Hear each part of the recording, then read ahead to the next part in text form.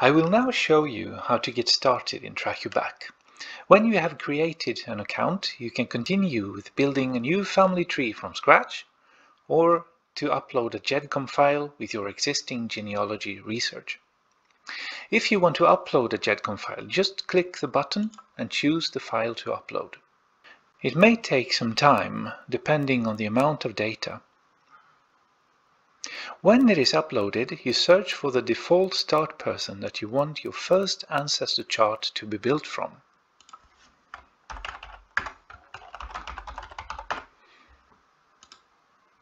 When you have found the individual you want, just click on her, which immediately gets Back building your tree. It is not a crucial decision. You can easily change start person whenever you want inside the platform and see different trees. Building the tree may take some time, depending on how many individuals that the tree contains. When the building of the tree is finished, you will see it inside the platform with all the ancestors to the start person you've chosen open at once. It is still in a basic version.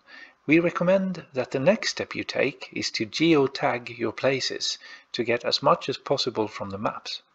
But already you can view and edit your info and see the perspectives of your history in the timeline. Let's start over. If you instead want to start a new tree, just click on the button for New Tree and you will get straight into the platform. There you will be met by a single anonymous person who you can start edit. Just click on her and click the editing button. The basic info like name and sex is obvious.